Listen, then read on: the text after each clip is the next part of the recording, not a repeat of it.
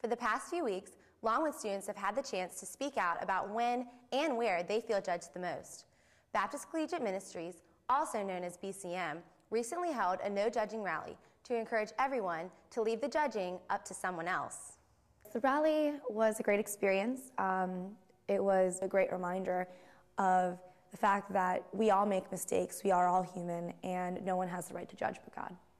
The rally marked the end to a three week long process.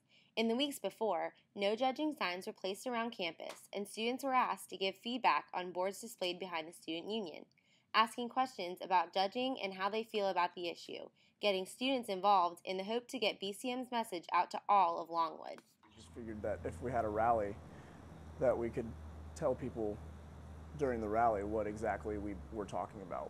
Like we weren't trying to advertise BCM, we were just trying to advertise the fact that um, Jesus was a loving person and he accepted everybody no matter what position they were in.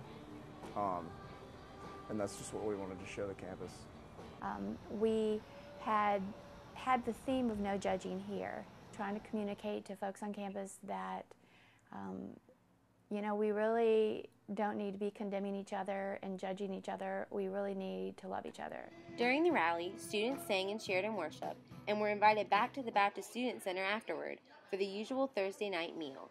Sherry Wise says she is pleased with the turnout and believes the rally was even more successful than she had hoped. It was exciting hearing some of the stories from the students about people who said, So, what's this whole no judging thing anyway? And it gave them a chance just to be able to say, Hey, yeah, we're, we're a Christian group and we just want, you know, God calls us to love people. And that's a message we just want to get out. And we all need to be more about loving. Um, and so it's still giving students a chance just to get, get that message of no judging out there. From Longwood University, I'm Sarah Smith reporting for The Rotunda Show.